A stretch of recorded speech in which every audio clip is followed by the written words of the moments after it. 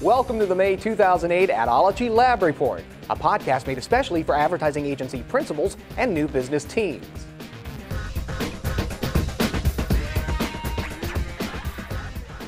New reports of cutbacks in 2008 ad spending abound, but not all industries will reduce spending equally, and some industries don't anticipate cutting back spending at all. Here's TNS's projection for which industries will increase ad spending, not counting freestanding inserts.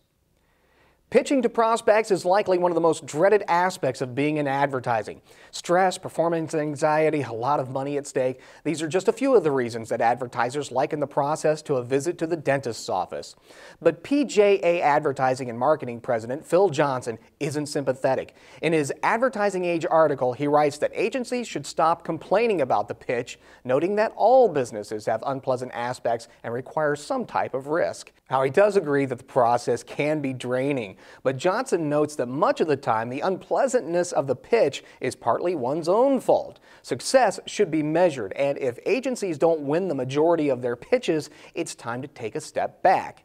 Agencies should be selective and consider only those accounts that are truly within reach, worth the time and their effort. And agencies shouldn't stretch themselves beyond employee limits. Once an agency has mastered this cherry picking process, the pitch won't be such a pain. Now, the pitch is really just a vehicle for your big idea. Mark Levy of Levy Innovation recently gave us some tips to help generate your big idea.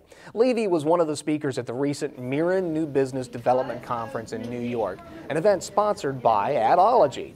Levy says a good brainstorming meeting should begin with what he calls a thinking campaign. This thinking campaign should start days or even weeks before the brainstorming session. In that time, devote a few minutes every day to think about your topic. Keep track of your thoughts with lists and something he calls private writings, where you write down your honest thoughts quickly and without stopping for a set amount of time. Don't worry, no one ever has to see what you've written. When you're finished, underline words and phrases that intrigue you and then just polish them up. Then have everyone meet with his or her ideas for the brainstorming session.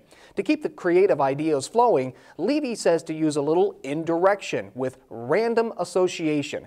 It's as simple as opening up a book and arbitrarily choosing a noun, writing down every association you can think of for that noun, and seeing if the association words can be used or applied to your problem. The key here, of course, is to force attendees out of the traditional means of solving a problem. How to get that big idea out of your office and in front of the client was also addressed at the Mirren conference. Todd Knutson from The List and David Curry from Catapult New Business reviewed five stages that turns an opportunity into a win, which are actually just the last two stages of that process. Each opportunity really begins with awareness, trust, and value before becoming a win.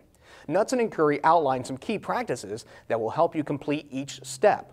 Awareness is overcoming the fact that the prospect has no idea who you are. A consistent strategy to advertise, network, and proactively prospect will help you with that.